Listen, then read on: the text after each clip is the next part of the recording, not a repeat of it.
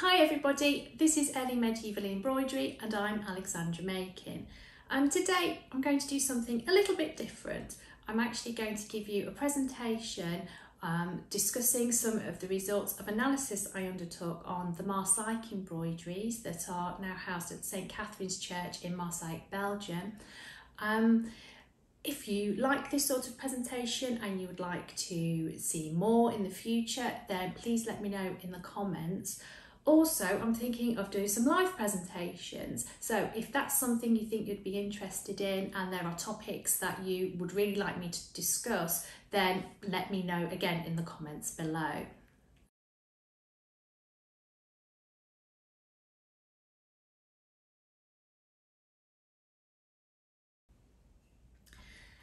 In 2014, I was given permission to examine the eight early medieval embroideries housed in the treasury at St Catherine's Church in Maaseik, Belgium. It was very exciting. The pieces were taken out of their display case, but due to the way they've been preserved, um, sewn onto conservation fabric that's been wrapped around specialist boards, only the front of each piece could be studied. Even so, the analysis produced interesting results, some of which I'm going to share with you here today. The eight embroideries were discovered applied to what is now called the casula of Saints Harlindis and Relindis, two sister saints who founded an abbey church in Aldeneik, Belgium in the 8th century. However, the embroideries date to the late 8th to 9th centuries and were applied to the composite casula at a later point in their history.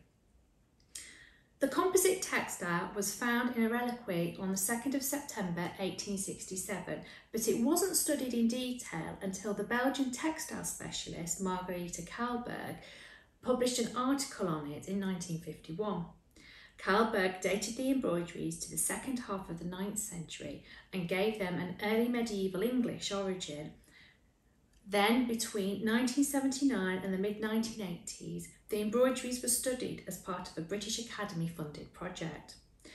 This resulted in the publication of four articles by Mildred Budny and Dominic Tweddle, detailing the historical and art historical context of the textiles and a technical overview of the embroidery's materials and construction.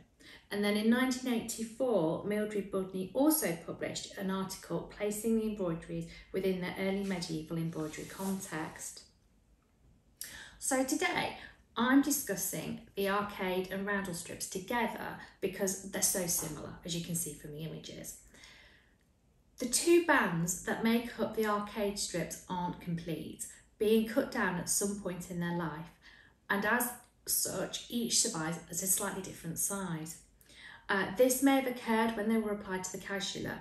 Each band lie on either side of the composite piece with the ends butting up against one of the four monograms and it's possible the strips were cut to allow for the precise space needed for each monogram. The monograms are not all the same size and the bands seem to have been fitted between them with some precision and forethought. The roundel band was found sewn across the middle of the casula. When it was taken off the textile, it was discovered that the embroidery was actually made up of two separate strips, um, which were unpicked during the conservation process.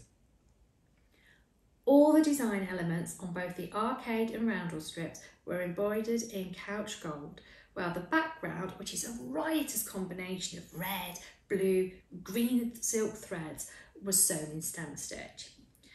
Areas such as the line of the arches and roundels were originally accented with pearls and although they are now missing, um, the thread that held them in place can still be seen as lines of running stitch. Although the arcades look as if they have survived quite well compared to the roundel strips, microscopic images show that this isn't the case. Budny and Tweddle observed that the ground fabric on both sets of the embroideries was an undyed tabby weave linen made from Z-spun threads. That used for the arcade bands is finer than that of the roundel strips, being constructed of 24 by 26 and 26 by 20 threads per square centimetre respectively. This made no difference to the stitch work, with stitch lengths that I've measured varying between 2 and 5 millimetres on both um, sets. The use of two different fabrics therefore points to batches of fabric being stored and used as required. On the arcade strips, the design was laid out on the ground fabric using a single strand of red silk. Budny and Tweddle point out that the design of the roundel strips had been transferred in the same way, stating that the colour of the thread used was beige, but my microscopic image shows that they're actually pink. It may be that the thread um, was originally the same colour uh, as that used on the arcade strip, but in some areas it's faded over time, giving this change of colour. Once the design lines were complete, the silk embroidery was worked. This is evidenced on both the roundel and the arcade strips by a number of silk embroidery stitches passing over or piercing the design thread. But whether the whole strip was worked from start to finish or in smaller sections can't be ascertained from the available evidence. We really need to look at the back to get that sort of technical information. The silk threads on both sides of the embroideries were made in the same way. The red and silks, um, the red and green silks were Z twisted and on occasion S plied, while all the other colours were untwisted. Budny and Tweddle state that the silk embroidery was worked in stem and split stitch. Uh, however, my analysis and the microscopic images show that both the arcade and roundel strips were embroidered in stem stitch only. On the arcade strips, the stem stitch is worked in two forms. In one, the direction of each stem stitch line faces the same way. In the other, alternate lines of stem stitch mirror each other, forming a chevron pattern. Apart from the borders, where the lines of stitching form mini chevron shapes, there seems to be no formula for the combination of straight lines or chevron patterns across the embroideries, uh, nor in the colours in which they were executed. A combination of approaches can also be seen in the filling stitches. Most of the already transferred gem-like motifs were individually outlined in stem stitch with the coloured silks before they were then filled in. This meant the original shape of the motif was maintained throughout the working process. With small motifs such as triangles, the shape has been kept whilst it was filled. However, there are other examples where the stitching has been randomly placed with priority given to filling the space. And then again, other areas such as curves have been embroidered with lines of stitching that easily filled the space, while motifs that contain gradual decreases in area were filled with stitches worked at different angles following the shape of the narrowing space. The use of colour was purposeful, with bands of different shades being worked within one motif. And this would have given the arcade a slightly different, more riotous look to the roundels, where motifs were embroidered primarily in one colour.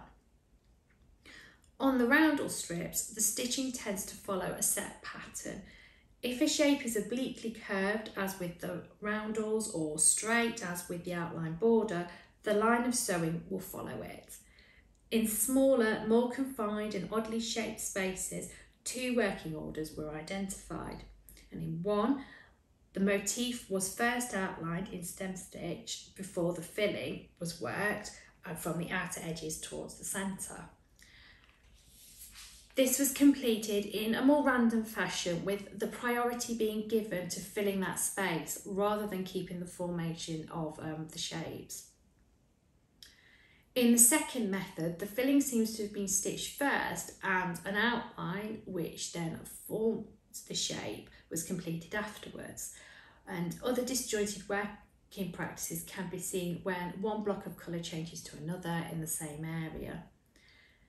In the majority of examples, the working line of the stitches was constructed from one colour to the next. However, there are a small number of instances where a change in colour has led to a change in stitch direction. The most obvious explanation is that a number of workers completed different parts of the embroideries, leading to small technical differences, but no overall disjointedness in the appearance of the finished objects. Um, and there may be um, an idea that the change in stitch direction um, altered the way that particular section looked. Um, but because the um, the shapes are so small, um, that needs to be investigated really through some experimental archaeology. On the roundel strips, many of the motifs were worked within their stitched design line, leaving the thread visible between each section. On roundel strip 1, the green, blue and beige yellow threads tend to be sewn in lines of stem stitch that all lie in the same direction, while the red thread formed a chevron pattern. There are occasions when the beige yellow silks have also been worked in this way. On the second roundel strip, the red thread was worked in both forms, while the green was only sewn in lines lying in the same direction, and the beige, yellow and blue silks were used to create a chevron effect. Again, the reason for these changes is ambiguous, uh, with there being no obvious stylistic reason, and it may indicate the hands of different workers. Um, but again, experimental embroidery may um, draw out more nuanced understanding of this um, Although it is possible to formulate the overall working order for each embroidery, the microscopic images indicate that sections were worked as blocks of colour being used when needed. As the mosaic design of the backgrounds involved the use of many different coloured threads, it's not unlikely that one motif was stitched and the thread was then left hanging loose until it was needed again, or that all the areas of the same colour were worked in one phase. Um, the first option is actually a similar working method employed on the Bayeux tapestry. Um, but again, um, you, we need to be able to see the back in order to determine um, which type of method was more was used or was more predominant. Once the silk embroidery was complete, the gold was couched in place. Uh, this is evidenced by couching threads catching the stem stitches. The gold appears to have been laid out in the same manner as the silk, outwards, inwards. Um, again, this would help keep the shape of the motif being stitched. The couching is not as neat on the arcade strips as on the roundel bands, and this could be due to a lack of experience by the worker and or the awkward angles of the shapes being worked. The couching has been sewn in two variations. While there seems to have been some attempt at bricking, as seen on the Durham stole, the majority of the couching has been constructed in simple lines in some cases, individual couching stitches have been doubled, with the thread being passed over the gold twice instead of the more usual once. There's no apparent reason for this, and the technique doesn't give a decorative effect because the couching thread is so similar in colour to the gold itself. Um, but again, an experimental project may um, give us some more insight into these nuances. Um, and I should point out that we're talking about minuscule designs here. Um, the each roundel on the roundel bands is 3.5 centimetres in diameter. And each roundel band, the whole band, is um, 19 centimetres by 18.7 centimetres um, compared to the arcade strips that are um, 63 centimetres by 9.5 and 66 by 10 centimetres. So you can see we're talking about very small areas um, of embroidery and decoration here. So overall, it appears um, that the workers were concentrating on covering the space with gold rather than decoratively filling it with couching um, and patterned couching as you can see for example on the early 10th century stolen maniple that were discovered in the tomb of St Cuthbert at Durham Cathedral. The couch gold thread has been worked to a good standard but the layout of the gold shows variation in skill levels. Where the gold lies in straight lines, the threads tend to be placed close together. When the gold is turned round um, acute corners, it is on the whole bent with precision. However, when the gold is couched over a more fluid shape, um, the rows aren't as worked as closely together and the bends tend to be spread further apart, um, leading to the conclusion that the workers were not as adept at filling um, these sorts of spaces. And interestingly, where there is some variation between the two roundel strips, so um, that may suggest that different workers um, worked on each roundel strip. In comparison to the arcade and roundel strips, the four monograms survive in the worst condition.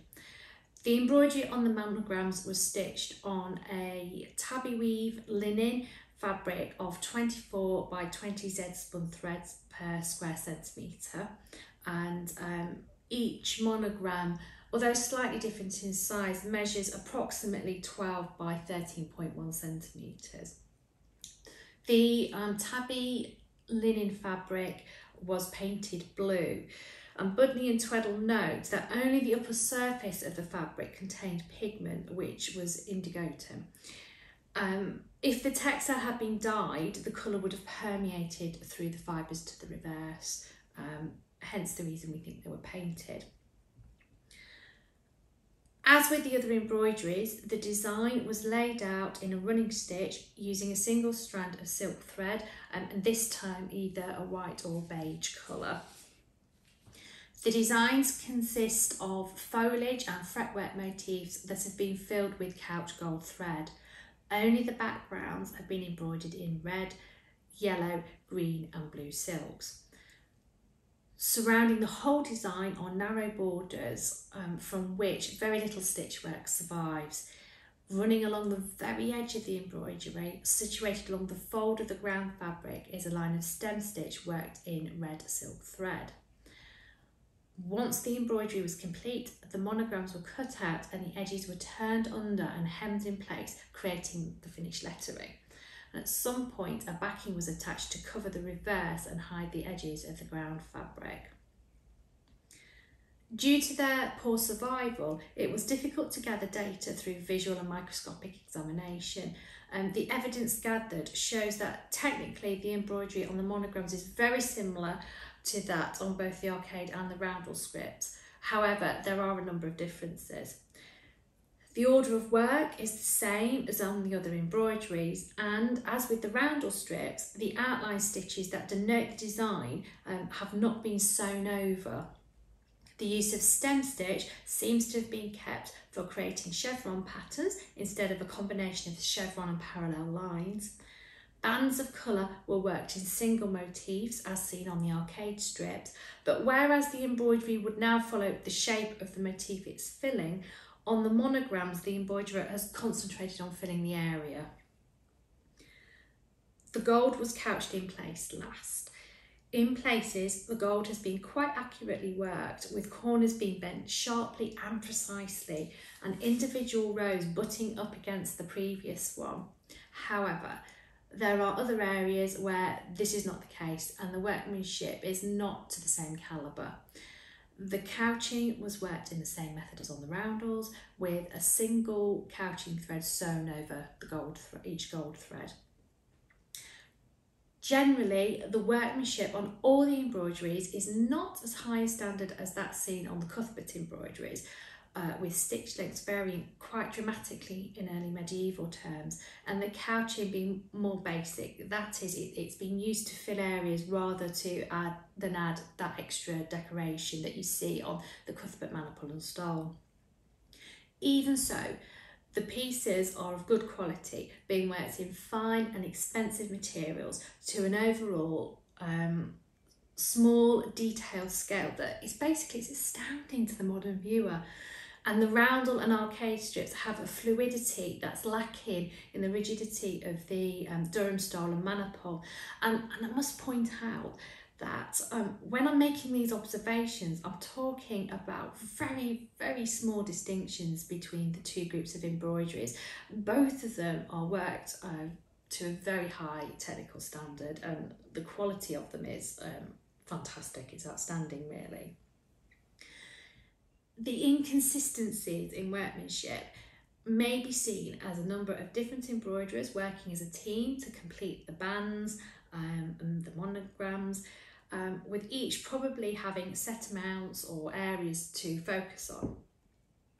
This, combined with the backlight use of materials, points to an organised, possibly workshop setting, where sets or groups of embroideries were worked at the same time and embroiderers were expected to work where needed. Therefore, these embroideries are an important addition to the technical story of early medieval embroidery, as well as being beautiful artwork that can inspire us today.